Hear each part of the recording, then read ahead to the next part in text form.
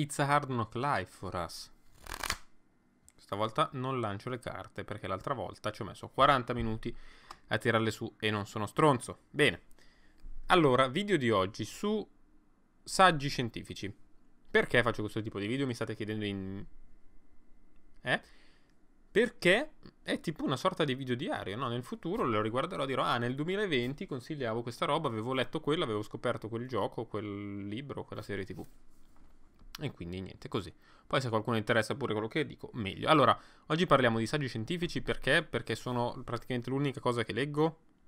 Non mi piace molto la narrativa, ne ho letta tanta in vita mia, ma ora basta. Quindi parliamo di saggi scientifici. Eh, divisi un po' per categorie, iniziamo con saggi scientifici per chi non ha mai letto saggi scientifici, ok? Ok? Primo, Neil deGrasse Tyson. Astrofisica per chi va di fretta. Raffaello Cortina Editore, 14 euro. Organizzato per... Allora, sapete tutti chi è Neil deGrasse Tyson, giusto? Ci siamo? Conosciamo tutti? Anche perché ha fatto Big Bang Theory. Dopo parleremo di Big Bang Theory a un certo punto.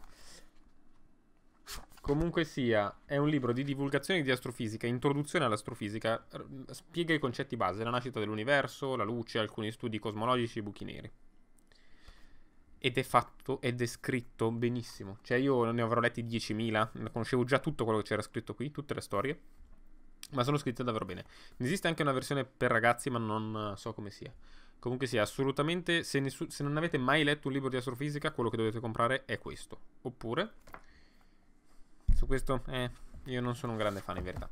Comunque sia, edizione bellissima, piccola biblioteca Delphi 666, Carlo Rovelli, 7 brevi lezioni di fisica, la Delphi più venduto in Italia, cioè più venduto in generale, e forse il libro di divulgazione scientifica italiano più venduto, perché è tradotto anche in tutte le altre lingue del mondo. Anche qua eh, è organizzato in sette lezioni, molto brevi, di fisica.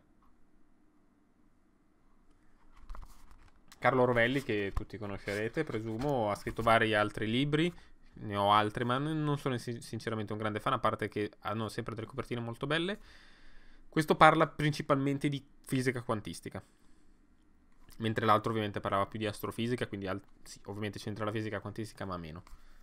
Consigliato, sì, non costa tantissimo, è piccolino, dovete leggerlo. Poi mi dite, mi fa schifo, sono d'accordo con voi, però leggetelo. Mentre non potete dire che fa schifo, o contrario. Richard Feynman, 6 pezzi facili. Mm, sapete tutti chi è Richard Feynman, vero? Premio Nobel per la fisica, grandissimo divulgatore, grandissimo professore di fisica con un accento incredibile. Anche questo è organizzato molto simile a quello di, di Rovelli, che credo si sia ispirato a questo, ipotizzo. Esiste anche la versione avanzata, che si chiama 6 pezzi meno facili, che non ho però, non ho neanche letto, mi sa. Comunque anche questo è diviso, diviso in... è sempre edizione ovviamente Delphi, prezzo circa 13 euro. Anche qua parla di atomi in movimento e fisica quantistica in generale, è un'introduzione, solo che differenza tra quello di Rovelli e quello di Feynman, mi piace di più quello di Feynman perché è scritto meglio è più chiaro, è più grosso, c'è più tempo per spiegare le cose. Se dovete scegliere quale dei due regalare, questo o comprare per voi, eh.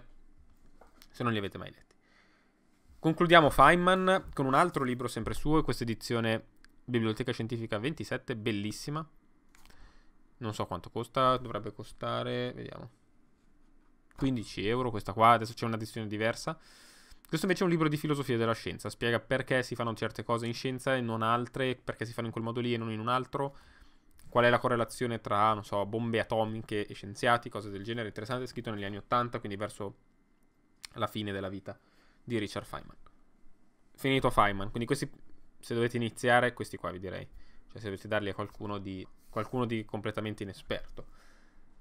Vediamo ora invece qualche libro italiano, vabbè, eh, Rovelli prima era italiano l'ha messo in un'altra categoria.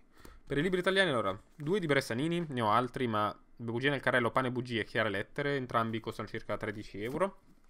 E si parlano di marketing del cibo e di truffe correlate al cibo, quindi intolleranze alimentari, eh, intolleranza al glutine e le truffe correlate, ovviamente, il kamut, i senza glutine, tutte queste robe qua, il glutammato.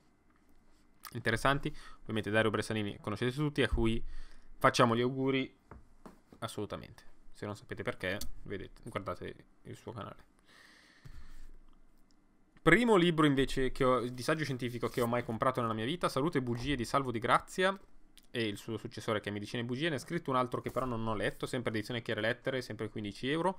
Questi parlano di truffe, ma molto simili a quelli di Bressanini come idea.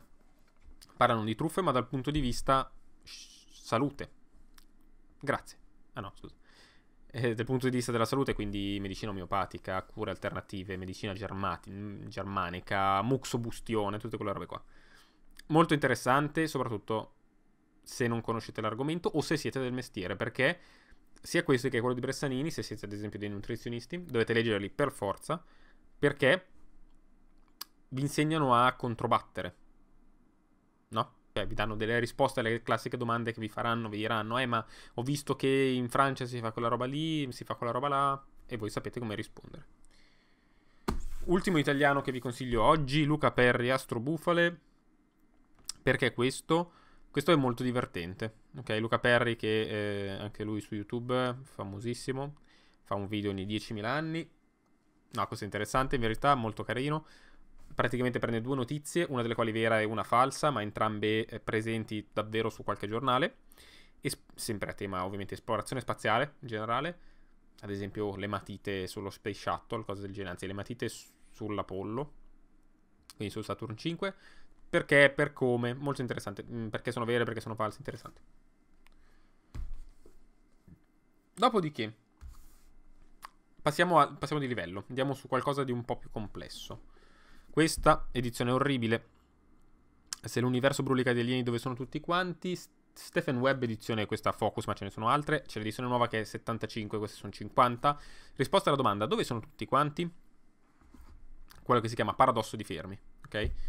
Paradosso di Fermi è se l'universo appunto è pieno, perché nessuno ci ha mai contattato di alieni? Perché nessuno ci ha mai contattato? E qua ci sono 50 risposte, 75 quello nuovo, tipo mh, mm, esistono ma non hanno com- il modo di comunicare, eh, non esistono, esistono ma se ne stracatafottono di noi, sono esistiti prima ma sono già morti. Se leggete questo avete un sacco di idee per scrivere romanzi di fantascienza, quindi No, questo è davvero, davvero bello e abbastanza sconosciuto da noi. Poi, un libro a cui sono molto affezionato. Più o meno quanto di Lawrence Weinstein e John A. Adam. Eh, edizione Zanichelli, chiavi di lettura, piccolino, piccolissimo. 13 euro. Questo è molto interessante perché ritorna fermi, in questo caso con un problema di fermi, non un paradosso. Il problema mm, problema di fermi è sostanzialmente stimare, senza cercare su internet senza usare la calcolatrice, qualcosa ad esempio, quanti sono gli accordatori che ci sono nella città di Chicago. Se, se, volete sapere come fare per stimarlo in maniera abbastanza intelligente, leggetevi questo libricino. E ci potete fare un sacco di giochini, è bello. Se volete male a qualcuno, invece, qua siamo già da- davvero alti come livello. Spillover di David Quennam in un'edizione a Delphi bellissima. Perché se volete male a qualcuno? 14 euro questo. Perché è pesantone è davvero pesantone. È bello, ma è molto molto pesante. Spiega nel minimo particolare il perché e il per come hanno studiato gli spillover. Cosa sono gli spillover? Passaggio di una malattia, dovreste saperlo ormai, passaggio di una malattia dagli animali agli uomini. Quindi parla dell'AIDS, dell'Ebola, parla del, ovviamente della SARS, quella vecchia, e predice la SARS nuova, cioè il Covid bello, ma dovete essere interessati. Cioè, vi deve interessare le malattie o vi deve interessare. Devono interessare le zoonosi, se no è pesantone. Certo, vi aiuta a capire come funzionano? Sì, però forse ci sono libri più adatti. Se invece volete proprio solo capire come è nato il Covid, ci sono libri più adatti. Libri per invece qualcuno a cui volete molto bene. Non è di scienza in verità, è di filosofia, ma comunque sia. David Edmonds, uccideresti l'uomo grasso? Il dilemma etico del male minore, Raffaello Cortina Editore, 19 euro. A parte avere una copertina bellissima, questo parla di questo problema qui, quello classico del... Vediamo se trovo un'immagine più esplicativa. Il classico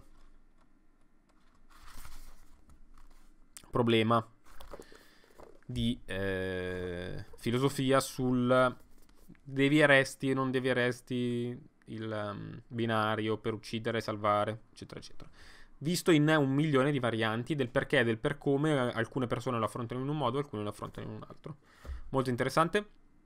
molto veloce da leggere, poi ha una copertina che è belli- bellissima, quindi compratelo. Se invece siete più interessati alla matematica, quindi abbiamo visto medicina, fisica, filosofia, anche se vabbè non è scienza in quel senso stretto. Ultimo teorema di Fermat, eh, perché è quello che ho letto, l'ultimo libro di matematica che ho letto.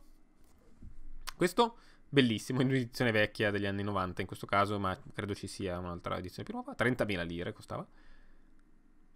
Parla di, scritto da Simon Singh, parla di come è stato dimostrato l'ultimo teorema di Fermat e di che cos'è l'ultimo teorema di Fermat ovviamente. È bella questa, questa, versione che ho io perché è di un tizio che l'aveva comprato negli anni 90 e era evidentemente un grande appassionato, ha lasciato dentro un pezzo di giornale con un articolo sull'ultimo teorema di Fermat e da qualche parte dovrei avere anche i suoi appunti. Bello, era carino. Comunque questo consigliato, è scritto davvero bene questo. Poi, poi, poi, poi, poi. Beh, siamo giunti quasi alla fine. Allora, se invece vole- vi volete davvero male o volete davvero male a qualcuno, un libro incredibile anche solo da far finta di aver letto, vi vantate con, le, con la gente. Gödel, Esker e Bach di Douglas Hofstadter, che è quello che dà il nome a Big Bang Theory, come dicevo. Un'eterna ghirlanda brillante e GB. 22 euro, non tantissimo. È un mattone gigantesco, bellissimo, nel senso che è davvero bello. Vedete, ci sono delle immagini all'interno, perché ovviamente si parla di Esker e non solo. Di che cosa parla questo librone gigantesco? Adelphi 12. Parla di principalmente intelligenza artificiale, okay, di come si può sviluppare e non sviluppare la storia del pensiero, eccetera, eccetera, eccetera. Partendo da Gödel, ovviamente, quindi il maestro della logica moderna, Esker, quello dei disegnini, no, Esker ovviamente quello delle illusioni ottiche, Bach, compositore. Perché? Per come proprio queste tre persone e non altre Beh, non ve lo spoiler, è scritto nelle prime pagine del libro. Il libro è, da, è difficile, cioè è difficile da leggere, è pesante, anche perché entra in alcuni concetti di principalmente matematica abbastanza complessi. Però se siete uno studente di ingegneria barra fisica barra matematica dovete leggerlo per forza. Se siete super saggisti scientifici mega acclamati e avete il dubbio, compratelo perché è incredibile, altrimenti non fa per voi, ve lo assicuro. E invece, ultimo libro che non ho letto, ma eh, devo iniziare a leggere, che ho appena comprato. Il libro segreto della medicina, fa ridere il nome, sembra una roba complottista. Guida ai fenomeni naturali più strani del mondo di Ian Bondeson, pagato 9,75 euro al libraccio parla di appunto misteri, cioè misteri mm, partico- casi particolari della medicina, tipo una donna svizzera si desta dalla bara durante i preparativi per il seppellimento, cose del genere. Volevo leggerlo e lo leggerò. E poi vi faccio sapere nel caso com'è. Nel, tra quanti anni rivedrò questo video dirò, ah, faceva cagare, era bello. Vabbè. Intanto non so perché mi si smarmella il video dalla webcam. Se qualcuno lo sa, me lo dica. C'è in verità un libro che non vi ho consigliato perché non ce l'ho fisicamente Sempre ad Elfi, ovviamente, Oliver Sacks, eh, l'uomo che scambiò sua moglie per un cappello, è un libro di medicina, eh, in particolare neurologia, e parla di disturbi neurologici molto particolari o psichiatrici a volte, molto particolari. Bellissimo perché oltre che essere un bel libro di divulgazione scientifica che spiega alcuni concetti di, di, delle malattie neurologiche, è scritto, cioè quella è davvero letteratura. Forse gli unici due scritti davvero bene che vi ho citato sono questo di Sachs e quelli di Feynman. Eh, non perché gli altri siano scritti male, ma non sono così artistici. Ok? Ci siamo? Quindi, niente, volevo fare una sorta di gruppo di lettura, tipo quello di Legna e mi si sparmella tutto. Tipo quello di Legna Zodiaco, non so se avete presente, no? Dove spiega, legge, consiglia libri, poi fanno la recensione dopo ma versione scientifica. Quindi se siete arrivati fin qua fatemi sapere quali sono i vostri saggi scientifici preferiti, se ne avete letto qualcuno di quelli che vi ho consigliato, se avete un'idea diversa. Noi ci sentiamo la prossima volta, arrivederci.